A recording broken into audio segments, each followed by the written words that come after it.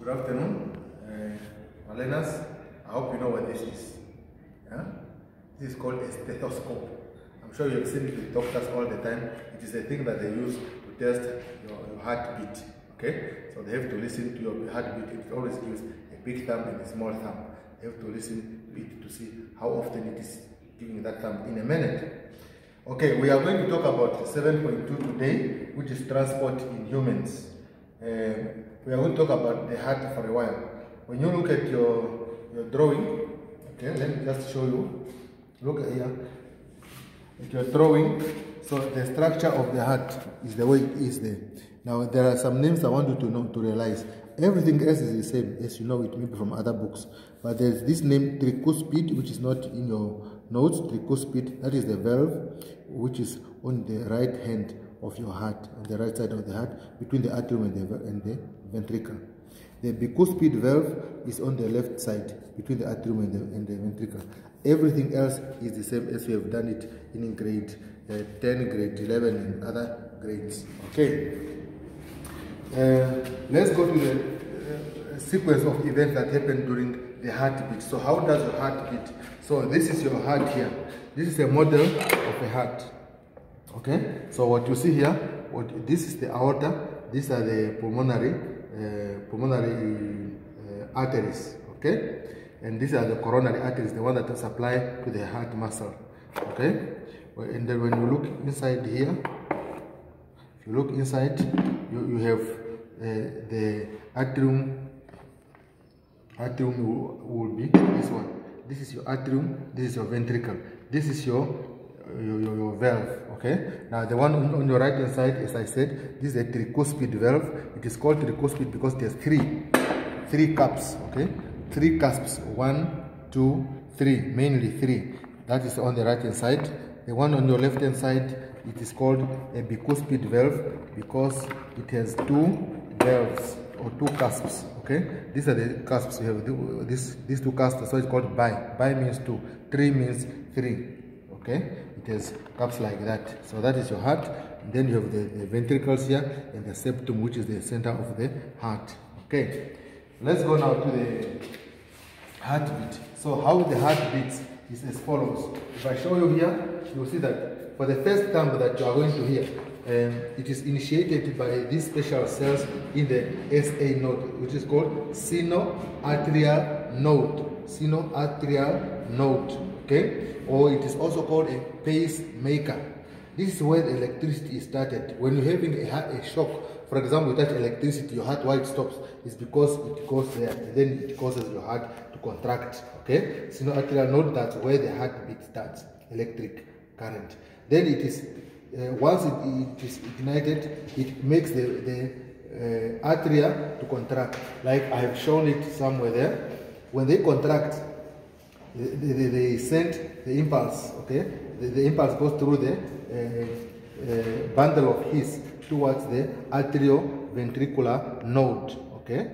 This node sends further the impulse towards the tip of the heart through the bundle of his and then here it will be spread by Purkinje fibers. Purkinje fiber, and these are the ones that are going to transmit the impulse. Now, when the electric current comes here, it causes the heart to squeeze from here. When it squeezes, the blood will be able to go up like that. On the chalkboard here, let me show you what I was talking about.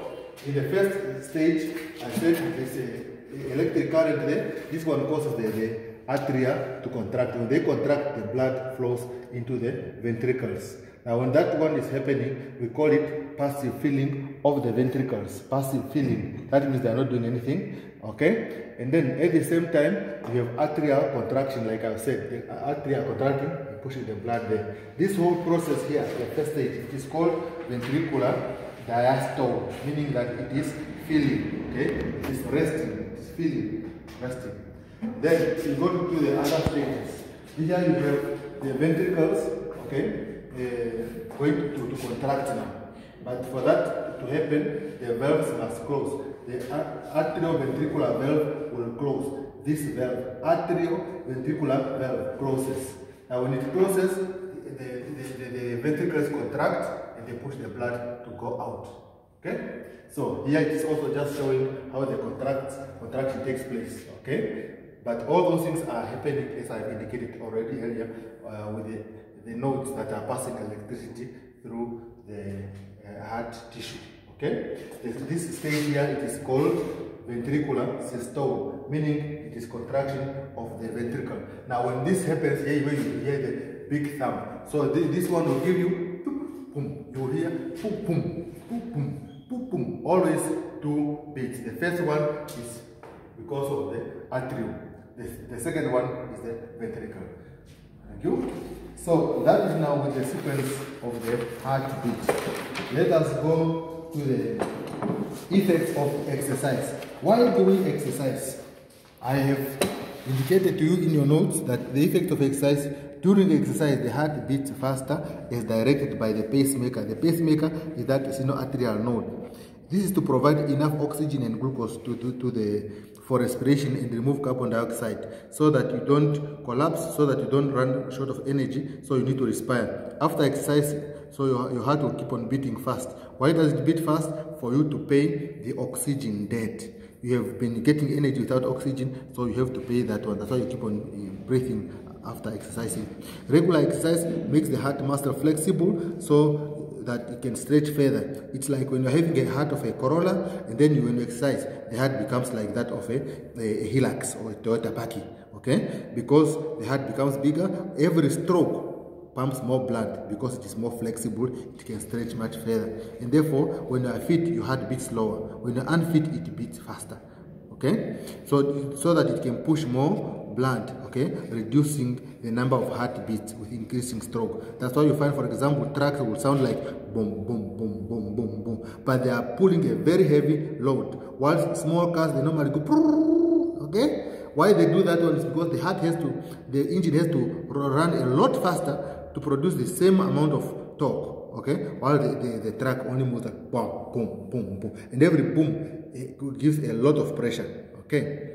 Uh, then we go to the likely cause of heart attack. The heart attack is where the heart stops to beat. Okay, it stops to beat, and there can be several things that can, can lead to a heart attack. The heart attack is when, okay, uh, when you have a, a heart attack, this happens because of the following. Okay, so this is your heart. The heart is also a muscle. It needs nutrients. Now the nutrients come in through the uh, uh, these coronary arteries. They supply glucose, they supply oxygen, they supply nutrients to the heart muscle for the heart to be able to get nutrients. Now, if any of this is blocked, the heart can, cannot, okay? If, if any of these blood vessels is stopped, that means blood cannot flow through anymore, and therefore the heart muscle will suffer and the heart muscle will stop.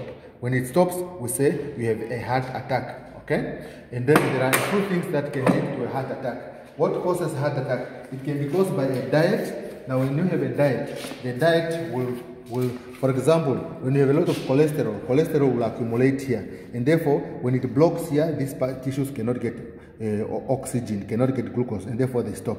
Or, or smoking. When you smoke, you, you produce, you have tar tar normally accumulates with uh, cholesterol. It, they are good friends and they can cause these blood vessels to block and therefore you can get a heart attack. Or you can have stress where the heart is pumping too much, it's working, it's working over time, okay, and then it can wear out. Then you can have a heart attack, heart to stop. Or it can be due to hereditary factors, meaning you have inherited some characteristics, okay, and therefore you can have maybe high blood pressure, uh, sugar, and so on. And then those ones can lead also the heart to stop, okay. Let's go to the blood vessels. The blood vessels. That was about the heart. Now when you go to, to, the, to the blood vessels, uh, these are the different uh, ones that we have in our body, okay? Um, blood vessels. Uh, blood vessels, we, we have what you call, I'm sure you remember